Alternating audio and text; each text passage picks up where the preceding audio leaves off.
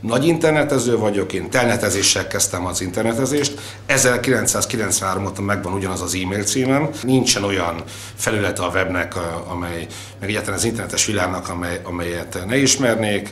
Én az internet és az internet szabadság mellett vagyok, viszont ez az adó nem, amennyibe be lesz vezetve, ez nem az internet szabadságáról szól. Ön mit tud, hogy mire lesz ez a pénz költve?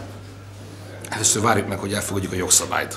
Na de hát az nem kellett megvárni, hogy erről mások beszéljenek, hogy mire fogják ezeket költeni. Ön mit tud, hogy... A költségvetés bevételeit fogja növelni. Volt arról szó, hogy ez az internet kiépítésére lesz költve. Nem, Rogán frakcióvezető úr azt mondta, hogy ebből a pénzből minél többet forgassunk vissza a szélessávú internetes fejlesztésre. Én ezzel egyetértek. De az első verzió az az volt, hogy ugye azért kell ezt kiterjeszteni a távközlési adót, mert a telefonról áttértek az IP alapú telefonálásra, így ezeket a költségeket, amik akkor elmaradtak ebből az adóból, ezeket kell behozni. Aztán a legújabb verzió az az volt, vagy most az, hogy hogy azért kell adót emelni, hogy a 3%-os hiánycélt tartani tudja Magyarország, ami Brüsszel elvárása. Mi a kérdése? Hát az, hogy végül is a telekomadó, illetve a telekomadó kiterjesztésének mi a célja? Tehát, hogy mire lesz végül is ez a pénz használva? Mert itt ugye volt három állítás. Mondtam már, tud? most megismétlem még egyszer. A költségvetés bevételének a növelése. Ez egy fogyasztóhely, tehát ez, ez, ezt, ezt, ezt, egy, ezt egyszer kell érteni. Jó, köszönöm szépen. Háztartásonként lesz ezt úgy érti? Háztartásonként, elmondtam.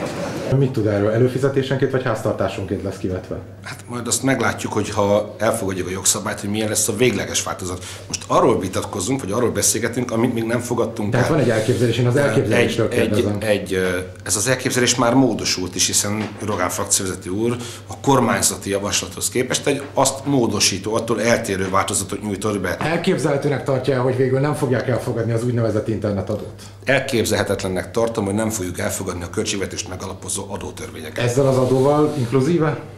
Válaszoltam a kérdésére. Elképzelhetőnek tartja, hogy, elfogad, hogy nem fogadják el? De mit? E, az, a telekommunikációs adó kiterjesztését.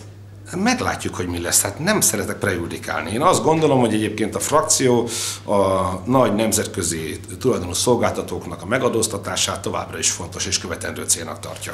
De hát ezt az, az emberek fogják megfizetni De a nem családok. fogják az emberek megfizetni. Hát miért a bankadót és a telekomadót is ők fizették meg, eltűntek a nulla forintos percdíjak, emelkedtek a telefonszámlák, olyan szolgáltatásokat szüntettek meg, amelyek kedvezményesebbek voltak. Ezt, ezeket önök nem tapasztalják az elmúlt években? Arról akar meggyőzni, amiről nekem is van személyes tapasztalatom. Van vonalas telefonom, van mobiltelefonom, van a feleségemnek, vannak a gyerekeimnek mobiltelefonjai, nem van internet szolgáltatásunk, van televízió szolgáltatásunk.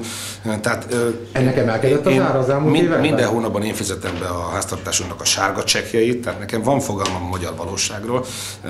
Én azt gondolom, hogy, hogy sőt, van bankszámlám, a feleségemnek is van, a nagylányomnak is van, bankkártyánk is van, tehát szerintem van némi fogalmunk arról, hogy mi mennyibe kerül. Akkor emelkedtek a költségeik? Vannak olyan költségeink, amelyek emelkedtek, vannak olyan költségeink, amelyek nem emelkedtek. Összességében én azt gondolom, hogy jól állunk.